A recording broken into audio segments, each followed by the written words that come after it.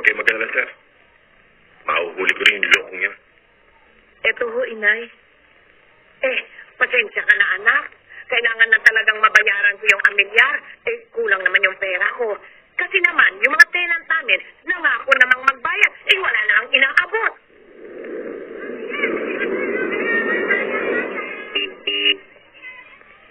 Nako. Ayan na ho siguro yung magaling yung anak.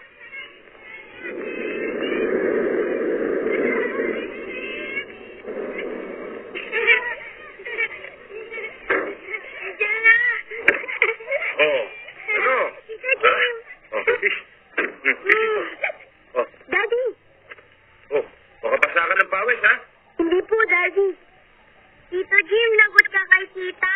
Bakit daw? Ewan ko. Naku, kayo talaga mga bata. Masyado maraming alam. O sige, papasok na ako at baka mapalo pa ako. Eh.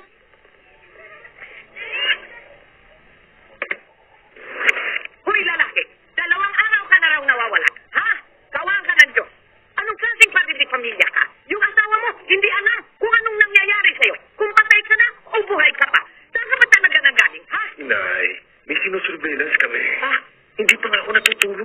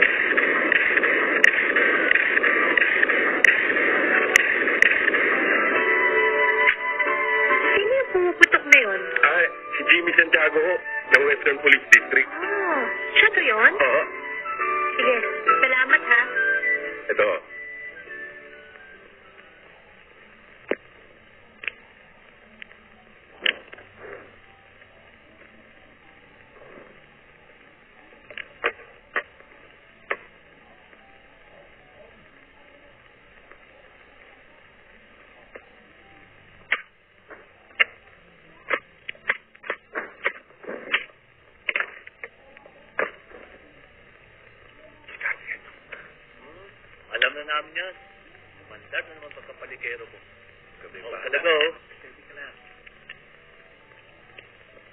Me? Are you shooting very well? What? I meant to say, uh,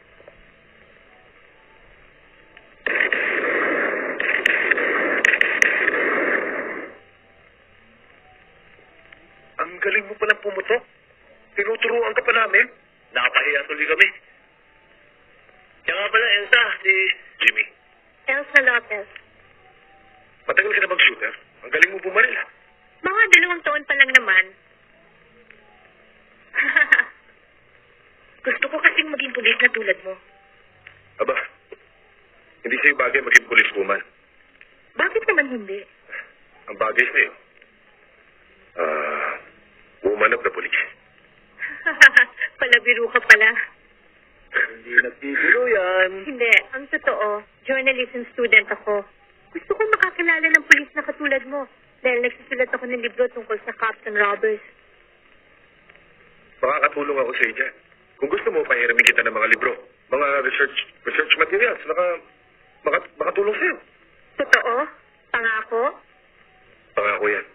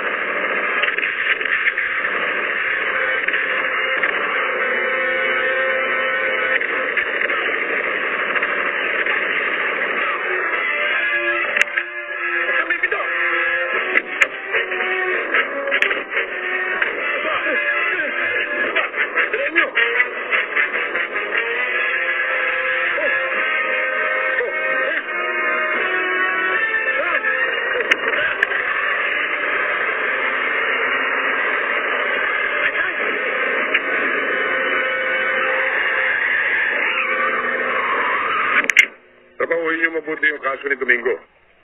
Baka makalabag ng Maynila yon, lalo tayo mahirapan. Nasaan ho ba si Ogie? Pupunta lang ng City Hall, kumuha ng waran. Darating na yun. Hello? Sir, Epilon, Excuse me, sir. Hello? Hindi ba may usapan tayo na ipamimili natin si Jimboy? Kanina pa kami naghihintay sa'yo dito ah. Ah, ma, ma, ma, pasensya ka na. Eh, May biglang assignment na binigay sa akin si Epe. Kaya hindi kita masasamahan ngayon. Sana hindi mo na pinangakuan yung bata. Asang-asa pa naman sa'yo si Jimboy. Anong oras ba matatapos yung operasyon nyo? Sige ma, tatawagan na lang kita mamaya pagdating ko. Hindi bali na lang. Okay, nakakuha ka na ba ng waran? Wala ko, sir eh. Nag-out of town daw si Judge. Sa mga papeles natin eh, nasa kanya na. O, paano yun? Pusko na lang tayo. Ganun na nga ho, sir. O, mga bata, baka may lakad kayo. Tapos kasuhin niyo na muna. Puspon tayo ngayon. Ay, salamat. O, Jim, baka may lakad ka. Kinansel ko na nga, sir. Ganun ba? O, sige. Ogie, sandali lang. Sarento. Kapado mo ba yung lugar na pinagtataguan ni Domingo? Oo, Sarento, put ko yun. Bakit? Boy? Labali ka na, kakain na tayo. Boy? Halika na. Kakain na tayo. Oo, ba't nag-behave ka kagad? Kararating-rating mo lang eh. Huwag kang mayroon! Ito naman nagkakalit kagad, uuwi mo lang eh. Ito naman nag-behave kagad, alam mo namang na... Sote ang init eh! Lagi kang nakakapit! Ano gusto mong gawin po? Sige, kumain ka lang. ano ba kayo? Mas malawig ba sa ilong ng na pusa? Yan! Ko na... Bye! Bye! Ayun po talaga! Bye! Bye! Bang! Hoy, Domingo! marami siyang dapat sagutin sa batas. Okay? Pulatan mo. Dali na. May waran kayo? Hindi na kailangan ng waran.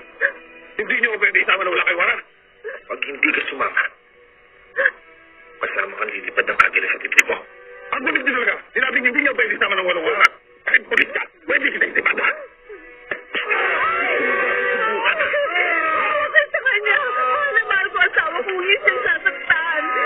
Asawa mo ba yan? Oo. Pero sinusurveillance namin sa na sabi ng babae, asawa yan. Ay, sa paano? Asabi, asawa rin yan. Pero ba talaga sila yung tatlo? Hindi na tayo ang gabi. Na! Na!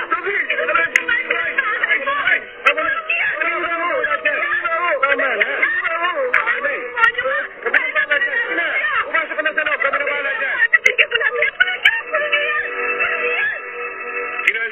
na yan. Dahil wala kayong warrant of arrest. Lumarga pa rin kayo. Jimmy, next time, kahit alam mo tama ka, ilagay mo pa rin sa legal ang lahat. Sir, wala namang illegal sa ginawa namin, ha? Ayaw nyo nun, binalik namin sa kulungan yung takas na yun. Jimmy, pwede kang beltahan ng mga human rights lawyer. Sir, malino sa batas natin na pwede nating aresto yun ng isang takas na kriminal kahit na walang warrant. Hindi mo na dapat sabihin sa akin yan. Alam ko yun. Ang iniiwasan ko lang, maputasan tayo.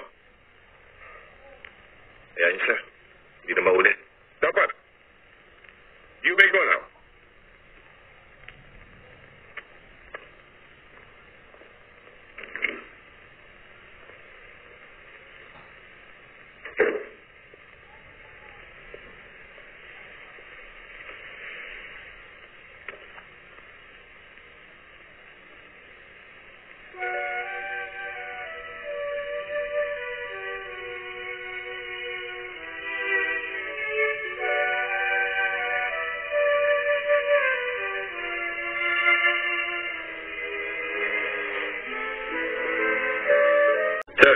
Santiago.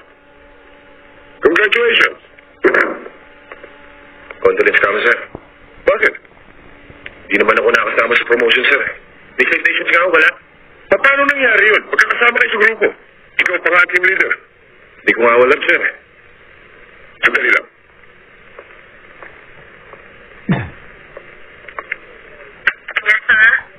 Papasukin mo nga sila rito. Ko nga alam, sir, kung bakit nawawala kopya ng 201 file ni Jimmy Santiago. Eh, sabay-sabay ko naman dinala sa krami yan. Pambihira ka naman, sir. Nawawala pa lang, hindi mo man lang sinabi sa akin. Magkakasama naman tayo dito, ah. Teka muna, mukhang hindi mo na ako nire-respeto, ah. Baka nakakalimutan mo. Nakatataas ako sa'yo. Sir, sinisir naman kita, di ba, sir? Sinisir mo nga ako. Ang taas naman ng boses mo. Tinatakot ba ako? Hindi kita tinatakot. Pero hindi rin ako takot sa'yo, sir. Tama na, tama na. Baka kung saan pa mapunta usapan yan. Kaya mo, Santiago, akong bahala kumayos niyan. Huwag na kayo magabala, sir. Hindi ko na may nahabol yan, eh. Ang sa akin lang, gusto ko lang ilagay sa tama. Permission to leave, sir. Sige, sir.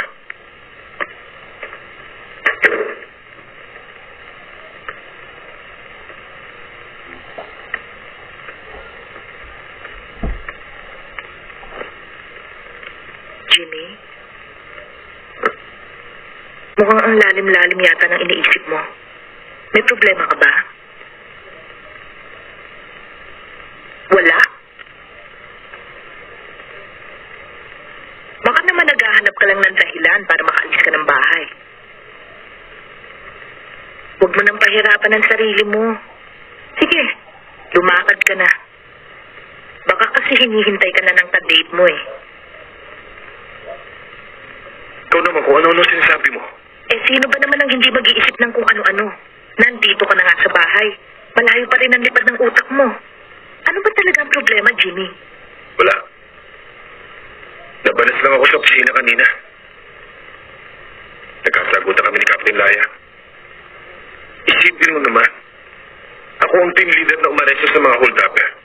Tapos ako hindi nabigyan ng promotion. Ano? Eh, bakit naman? Nawawala daw yung 201 file ko. Lagi ko sinusubo ang buhay ko sa peligro. Tapos mababaliwala lang dahil sa mga inditero nakakawalang gana. Eh, ano bang sabi ng jefe mo? Hindi ba malakas ka doon? Aayusin daw. Huwag na nga natin pag-usapan yan. Tulog na lang tayo. Pagod na ako. Masama nga pakiramdam ko eh. Hmm. Bango mo ah. Amoy tiger bomb. Sweetheart naman, ilang beses ko bang sasabihin sa'yo na ang tiger bomb hindi pa bango? Eh, masakit nga ang katawan ko kanina eh. But that's unfair, Jimmy. Kung gusto mo, pababanatan ko sa media. Marami akong kilalang nagsusulat sa dyaryo.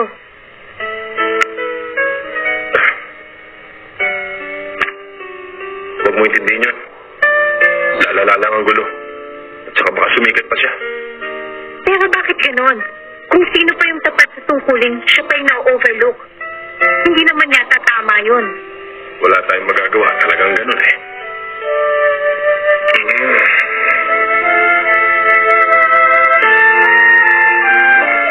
Mabuti pa siguro, maligo ka na muna para guminhawa yung pakiramdam mo.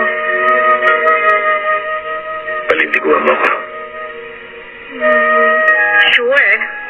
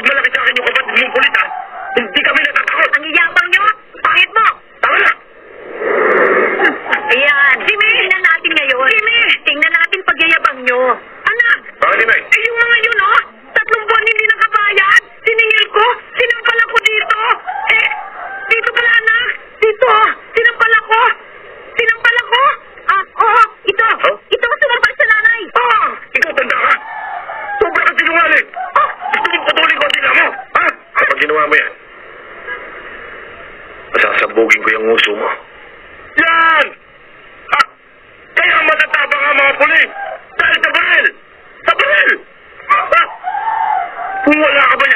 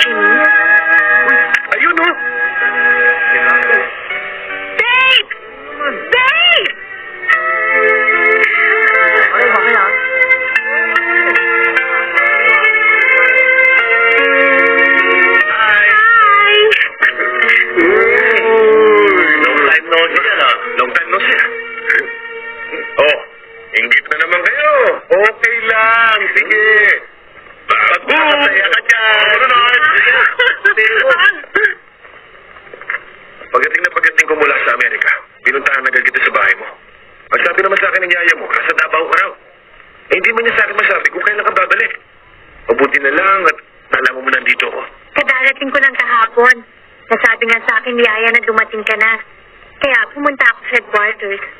Nalaman ko na lumipat ka na pala sa SWAT. Babe, sabay ka na lang mag-dinner mamaya.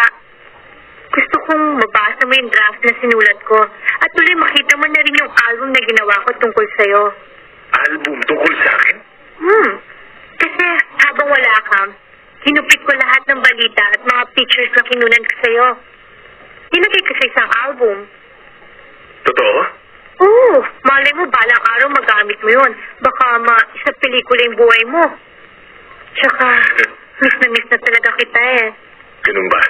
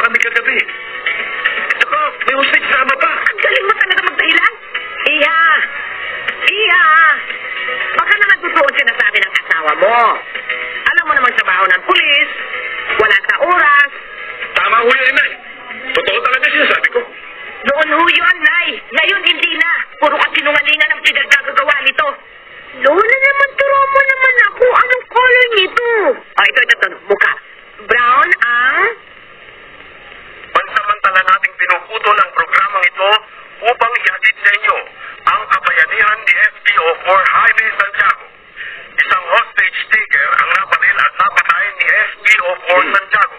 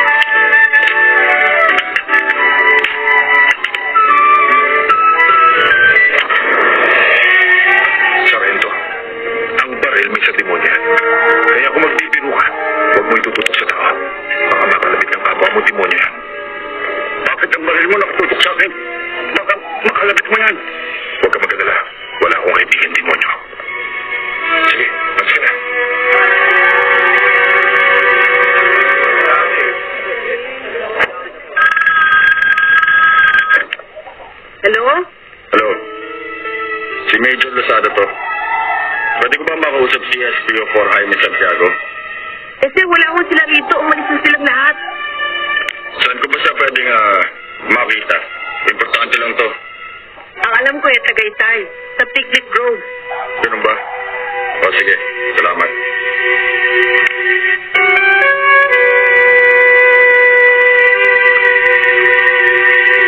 Tawagin mo sila nato. Sabihin mo may nakatayo. Okay, Tol. Pakistán. Somos la verdad.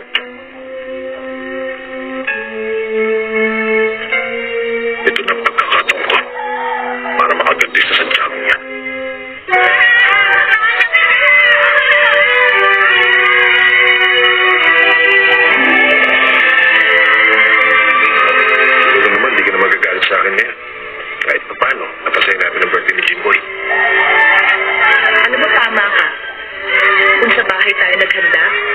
Magulo na, nakakapagod pa. Ang saya-saya ng pamilya ni Jimmy, no?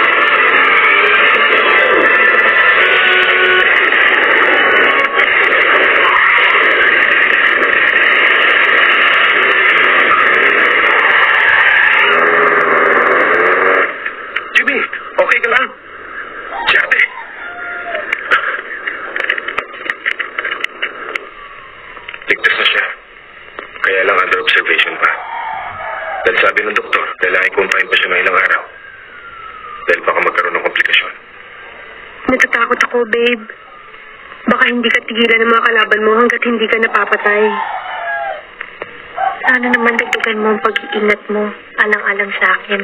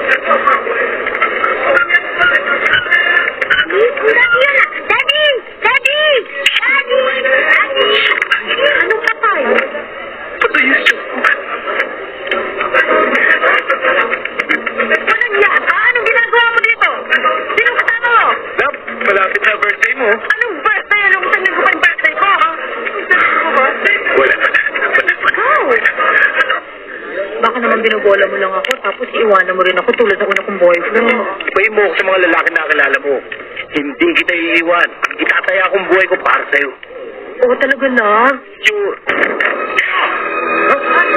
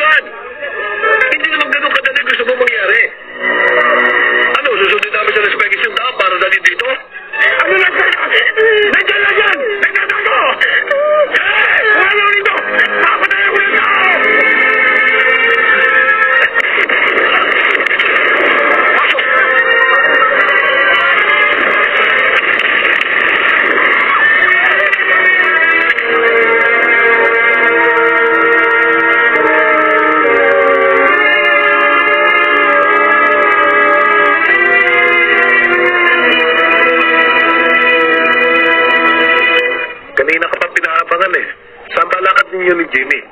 Um, kasi magpapasama sana ako sa kanya sa Batangas dahil dumating yung twin ko mula sa Amerika. Gusto siya makilala. Mag-out of town pala kayo. Kaya pala ang aga sa opisina. Andun, tinatapos lahat ang report. Oh, ayan na pala si Jimmy.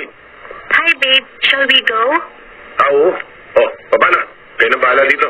Kapag hinanap ako ni Kernel, sabihin mo na sa kabila nila. Alignado.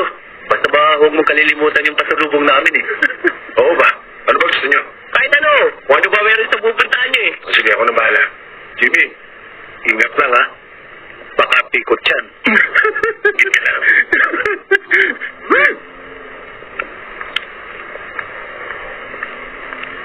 Huwag na yan yung kotse ko na lang, babe.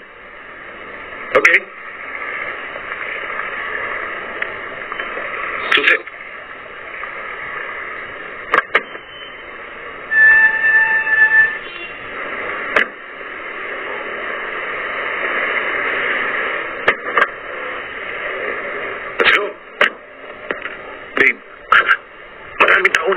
Dito. Eh ano, mahal naman kita eh. Ilang oras pa nga lang na hindi kita mayakap at mahalikan eh. Talagang sabik na sabik na ako sa'yo. Para bang ang tagal mo nang nawala. Babe, babe, babe naman, ano ba? May, may tao, may tao. Sinasabi ko na nga ba eh. Siguro naman hindi ka na makakapagkaila ngayon. Lumabas na nga rito lalaki ka. Bakit? Oh, kami. Iwan mo nga ako. Ano dito? Maraming tao. Ay, naku, hindi na ako ba siya? Bakit hindi mo ba ako kilala? hindi mo ako kilala, ha? Ako ang misis niya. Ako si Mrs. Santiago. Hoy, ito bang bansot ang pang pinagpalit mo sa akin? Hoy, kape, huwag mo kong tatawagin bansot. Eh, ano gusto ba itawag ko sa'yo? Halipangat? Alembo? Bago na katawa? Ha? Tama na. Minsan mo totoo Hindi mo nalalaman kung anong sinasabi mo. At hindi mo din alam kung paano nabuong relasyon namin ni Jimmy. Hindi ko na kailangan malaman yun. Malagdi ka! Huwag mo akong sasaktan, Mrs. Santiago. Hindi kita sasantuhin. Ben, sumalas ka dyan. Sige, para magkatakutan na tayo.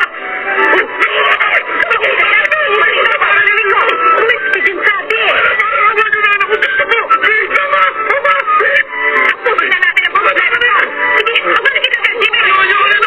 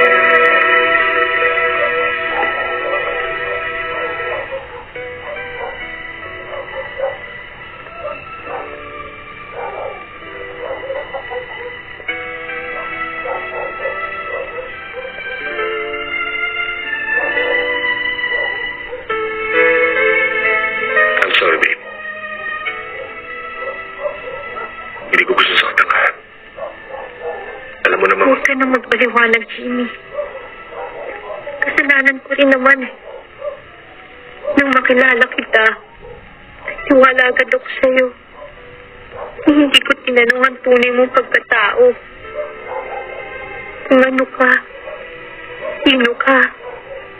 Ang minahal ko pala eh. Hiram ko lang. May tunay nagmamayari. babe, mahal kita. Mahal, mahal kita. Alam mo yun. Mahal din naman kita, Jim. Pero alam ko na walang patutungan kung pagmamahalan natin. Hindi rin kita masusolo. Isa pa, ang mga bagay ni Niramay dapat isulit. Alikan mo ang pamilya mo na may tunay na karapatan sa'yo. Babes, pero paano ka?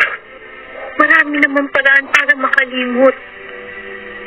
Pero hindi ko magagawang agawin ka ng tuluyan.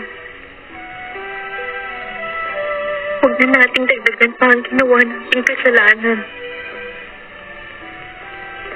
Pangako mo na uuwi ka.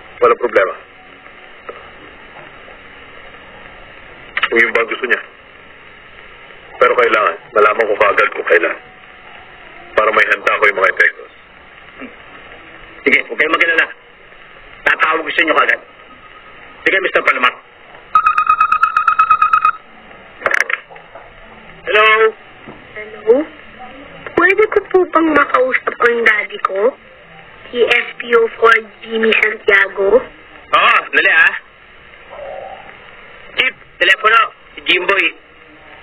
O yung, lagyan mo sa kotse pa.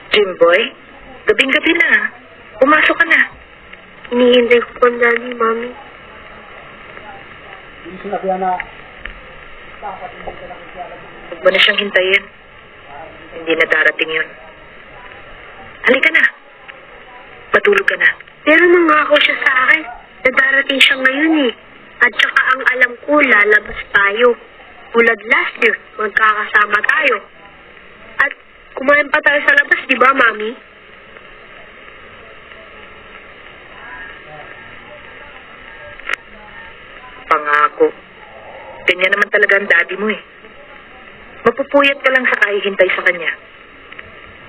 Halika na. Matulog na tayo. Hayaan mo. Pagdating na pagdating niya, gigisingin kita. Bakit hindi mo ko? Gigisingin kita. Okay? Let's go. Okay.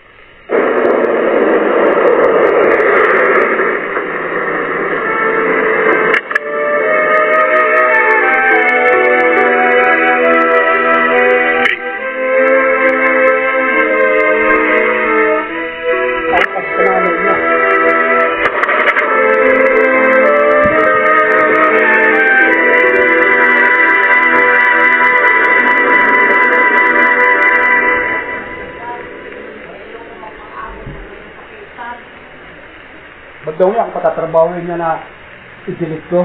Siya pumasok niya sa ano, tapos ako paanin niya. Siya gano'n.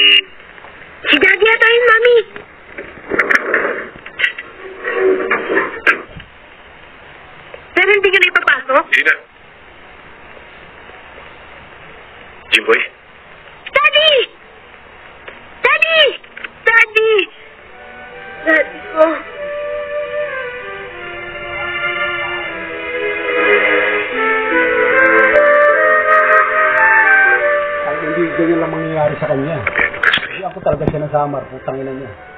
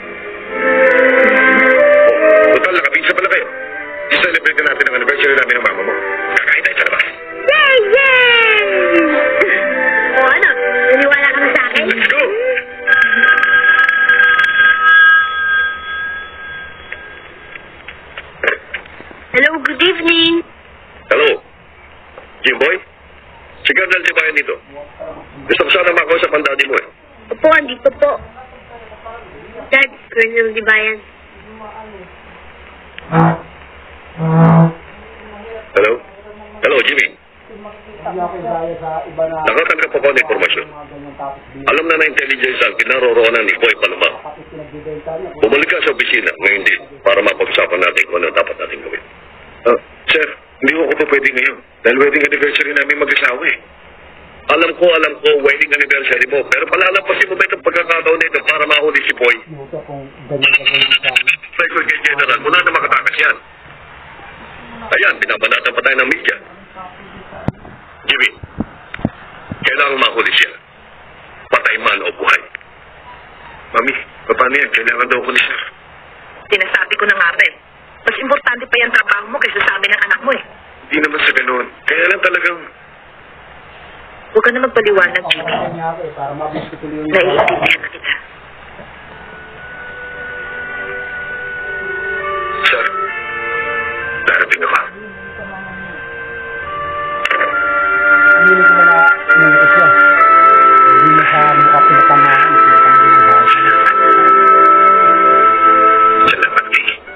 Mag-iingat ka, ha?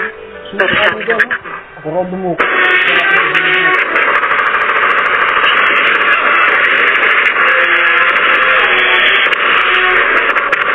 building.